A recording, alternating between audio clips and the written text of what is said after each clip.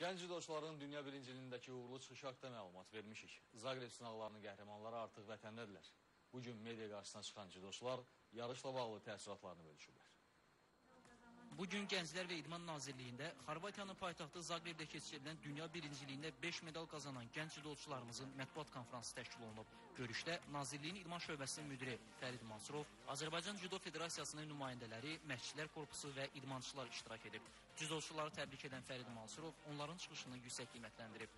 Zaqrebdə keçirilən dünya e, birinciliyində, e, gənclərin dünya birinciliyində komandamızın belə gözəl çıxışı bir tarixi hadisədir. Məqsədimiz ondan ibarətdir ki, sizin qazandığınız uğurları biz cəmiyyətimizə çatdıraq, ictimaiyyətimizə çatdıraq və sizin e, bir növ idmanın kütləviliyində siz idmançılardan e, belə deyərdim, e, uğurları vasitəsilə idmana axını möhkəmlədək.